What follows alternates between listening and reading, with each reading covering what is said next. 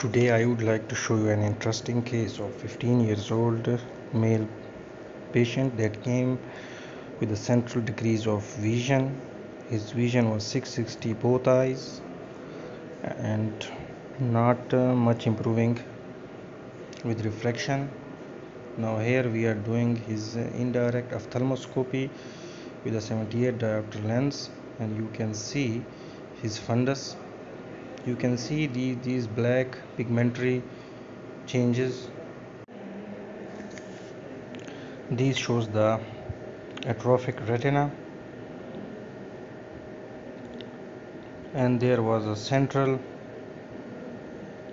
uh, roundish golden yellow lesion on the fovea. So we diagnosed this case as a case of star Stargardt disease Stargardt disease is one of the most common macular fundal dystrophy first described by German ophthalmologist Karl Stargardt in 1909. It is a genetic disorder caused by the mutations involving ABCA4 gene through autosomal recessive pattern the patients may be asymptomatic, but most commonly they present with bilateral central visual loss, photophobia, color vision defects, central scotomas, and slow dark adaptation. Now, visual deterioration is rapidly progressive, most often occurs in early adulthood, like in our case, and vision may be in the range of 69 to 660 color vision is typically compromised. Red green dyschromatopsia can be noted.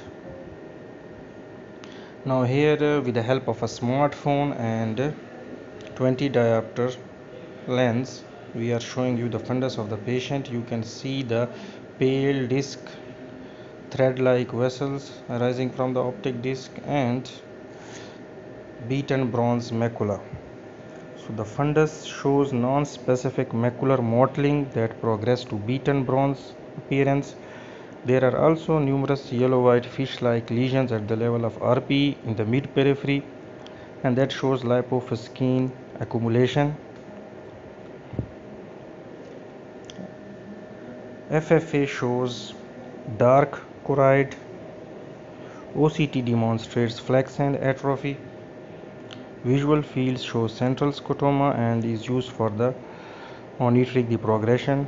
ERG shows subnormal photopic and normal scotopic values.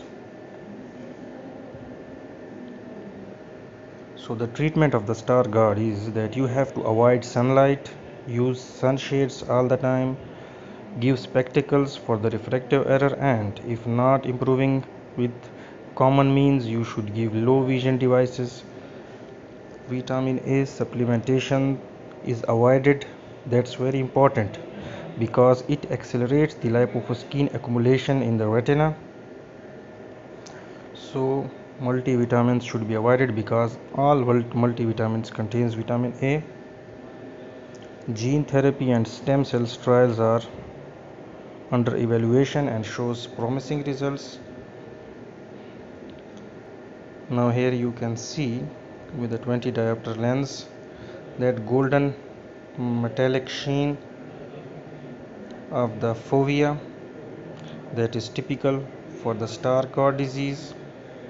Here you can clearly see the fovea that's beaten bronze appearance. So Stargardt patients should be counseled. They should be given support supportive therapy and uh, they should also be told that they will not get totally blind. And they should